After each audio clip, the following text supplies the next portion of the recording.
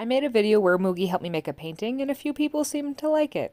And I want to up the ante because I want something where she has a little more control over it because with the bag one, a lot of it's determined with how you peel the bag off. Moogie is a smart cookie. Every trick I've ever taught her, she has learned in one training session. So I decided to modify a trick she does, which is touch, where she touches my hand, and move it to the wall. And I called it boop. And in an hour, she had it down. I know I'm biased, but gosh, she's so smart. After I taught her this, I actually taped a canvas to the wall. I painted a clear bag on the other side where she won't touch it, and then I had her boop through the bag. She did get a little too excited and also scratched, but that created some interesting effects. Once this dried, I stretched this onto a canvas frame, and here is a true Moogie original piece of art.